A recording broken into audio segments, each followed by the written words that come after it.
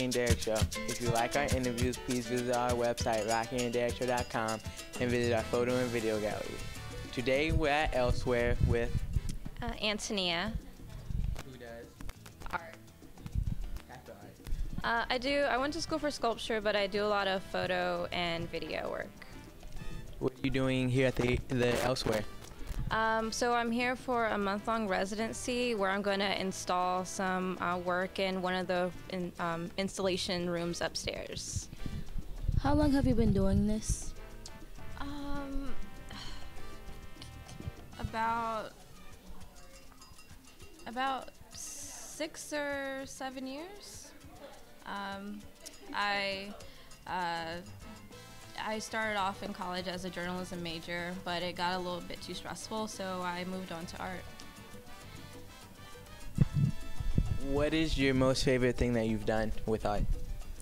Um, my most favorite thing, uh, probably my um, bubble wrap video. Uh, I did uh, made a uh, filter out of bubble wrap, and uh, with, um, as I like move in the video, it just I kind of just look like a glob like moving behind bubble wrap. It's pretty cool.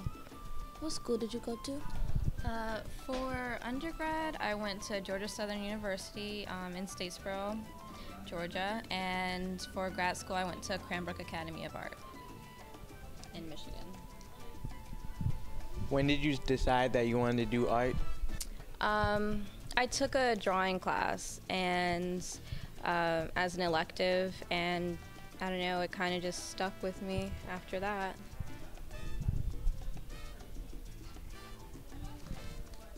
Did anybody inspire you to do art? Uh, my mother actually, she um, she like throughout my childhood, she's always like drawn and painted flowers and um, people, uh, and that I've al- I feel like I've always gotten my like creative instincts from watching her as a child. Who is your favorite artist? That's a hard question. Um,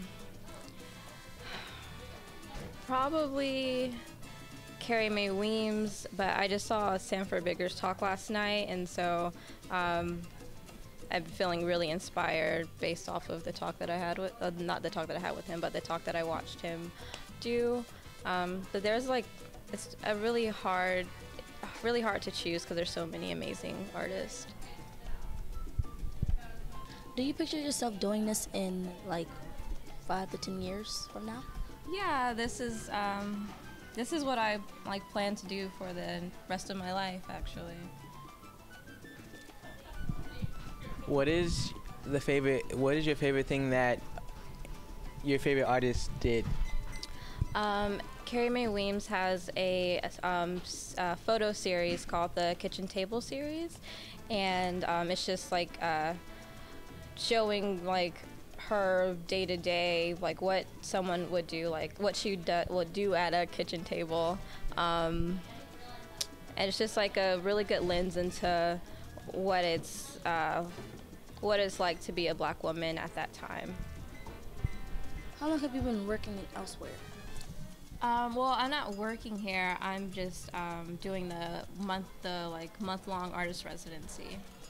So, um, so I'm just here. Uh, I'm doing an artist talk tomorrow, and I'm going to install some work um, in the museum. Have you always lived in Greensboro? No, um, I actually I live in a small town outside of Savannah. Um, uh, this is actually my first time in Greensboro. Did Elsewhere bring you here?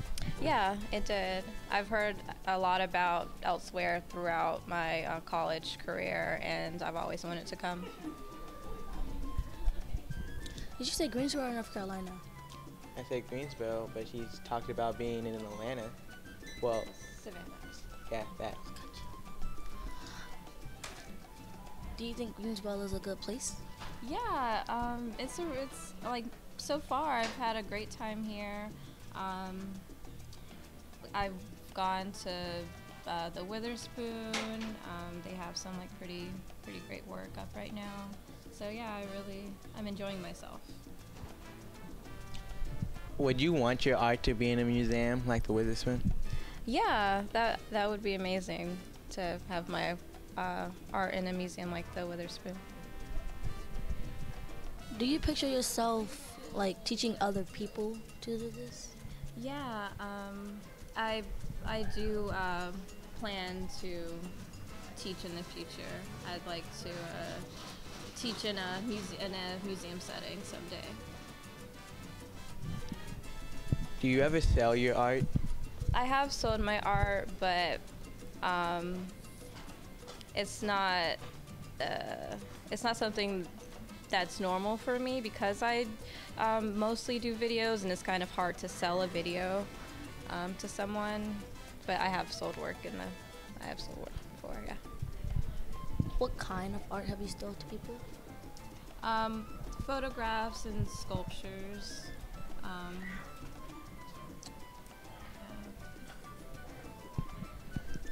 Where can we find your videos? Um, on my website uh, at antoniablarkin.net. What is the biggest project you ever done? Um, well, the biggest project I ever done uh, is actually the one that I'm working on right now, which isn't completed. But um, I'm. Uh, there's like so this is a very old building and so there's a lot of cracks in the walls so i'm taking hair and i'm going to uh, insert hair into the make it look like hair is growing out of the walls at elsewhere. How long do you think it'll take to finish what you're doing? Uh, I, I'm guessing about two weeks to f- uh, finish like the process of putting the hair in the cracks, um, and then maybe another week to because there's going to be a writing component, and so maybe another week, week to write up what's going the writing portion of the work. Do you expect your project to go good? Well, Yeah, um, I'm uh, really excited. I uh, always, you never know what's going to happen. Expect um, when you're making work, um, things can go wrong, or you might have to figure out like new techniques to like get through things. But um, I'm very optimistic about my project. What is the most expensive art that you've sold? Um, I'm not sure. Uh, probably, probably a sculpture. Um, in undergrad, it's probably like the most expensive thing I've sold. A ceramic sculpture. What are the steps you learned about elsewhere so far? Um, well, I've I knew a little bit about it before I came here, but I did learn more about Sylvia Gray, um, and how she uh, everything that she owned was preserved here, and like every every little thing is like a part of collection and can't be taken out of this building unless it's like going to be brought back, which I find really interesting. Um, I've learned that um, when they're building uh, this building, they mi- and they mixed uh, horsehair into the concrete, um, which I find really interesting and um, has been like an inspiration for me uh, in regards to the piece that I'm installing right now. Do you think you're still gonna live here after your month is up with Elsewhere? Um, n- no, but I mean, I'm I may come back someday. I don't know. Do you ever think about making your own business, like having your own thing?